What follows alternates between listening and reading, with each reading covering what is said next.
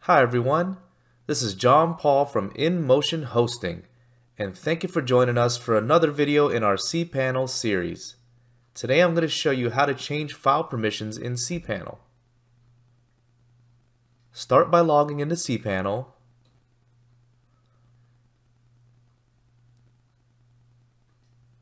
Then open the File Manager in the Files section.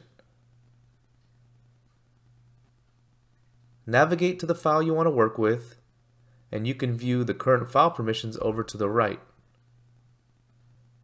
Keep in mind that certain file types and folders should be set to particular permissions.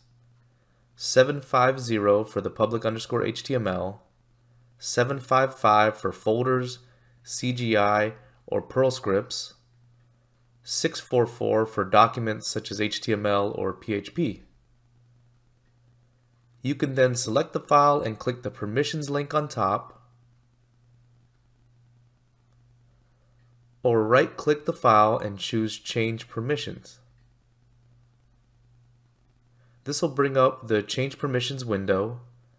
Adjust the settings as needed by checking the box by each permission you want for each level of access, such as user, group, and world.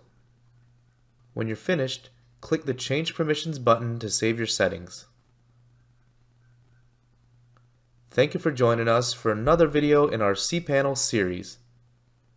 Check out our cPanel education channel for more helpful tutorials and feel free to like, subscribe, or comment below and let us know what you think or to suggest additional videos. Check out our InMotion Hosting Support Center for help with your website. We provide thousands of step-by-step guides, videos, and much more to lead you towards making your online project a successful one. You can find us at www.inmotionhosting.com/support.